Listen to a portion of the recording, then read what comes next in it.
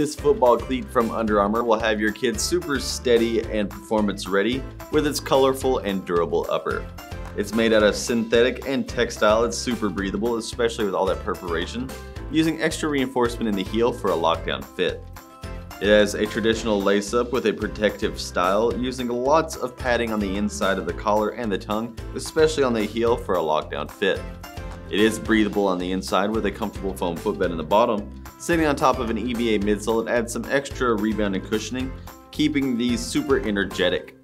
The outsole is a durable TPU with some light TPU cleats. It's going to dig into artificial and natural terrain very easily.